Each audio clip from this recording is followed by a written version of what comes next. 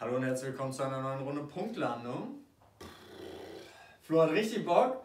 Wir haben äh, einen Magneten und einen Magnethalter und müssen das da drauf werfen. Mit einem Wurf drauf.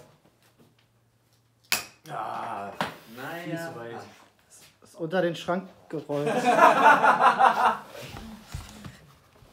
Wir kriegen das hin. äh, Wir kriegen das nicht hin. äh, Pause, Umbaupause.